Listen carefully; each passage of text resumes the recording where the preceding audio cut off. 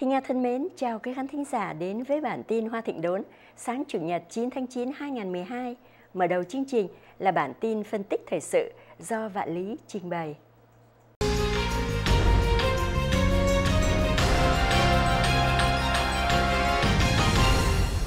Và Lý xin kính chào quý vị và sau đây xin kính mời quý vị theo dõi bản tin phân tích thời sự thế giới.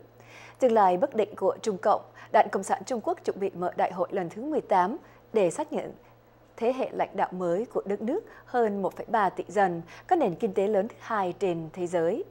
Phó Chủ tịch Tập Cận Bình, 59 tuổi, sẵn sàng thay thế Chủ tịch Hồ Cẩm Đào sau khi ba lãnh đạo mới hoàn tất các kế hoạch.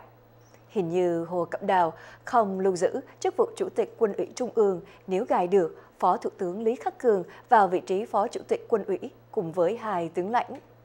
Dư luận đang theo dõi sát tổng Cận Bình để có thể dự đoán chính sách mới của Trung Cộng sẽ thực thi để giải quyết những vấn đề nghiêm trọng phát sinh từ một thập niên qua. Chưa có tuyên bố chính thức, nhưng tờ tạp chí của trường đảng Trung ương do Tập Cận Bình làm hiệu trưởng đã bình luận.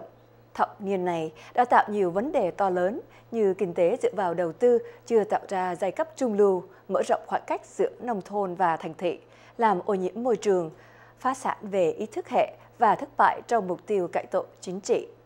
Tập Cận Bình hứa dương cao khẩu hiệu cải tổ, đặc biệt về chính trị, nhưng không đi vào chi tiết vì dân ngán chuyện nói mà chẳng làm cũng như lời hứa không thực tế. Phó Chủ tịch Tập Cận Bình được gặp Hồ Đắc Bình nhằm chứng tỏ muốn lắng nghe tiếng nói, đòi giải phóng kinh tế nhanh chóng hơn và nới lỏng kiểm soát chính trị. Hồ Đẹp Bình 69 tuổi vẫn tiếp tục xỉn dương tinh thần cải tổ của cha, tức Tổng bí thư Hồ Diệu Bang bị mất chức vì do dự đàn áp sinh viên tại quảng trường Thiên An Môn.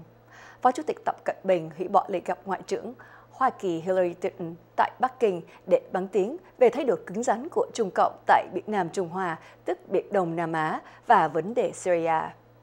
Ngoại trưởng Clinton rời Bắc Kinh với đôi bằng Tây Trắng sau hai ngày gặp Chủ tịch Hồ Cẩm Đào và Ngoại trưởng Dương Kitchi.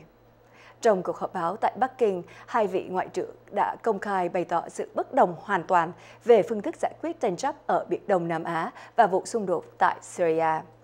Với bàn tần lãnh đạo do Tập Cận Bình cầm đầu, khó mà đưa Trung Cộng ra khỏi mê hồn trận kinh tế, xã hội cũng như mối quan hệ quốc tế.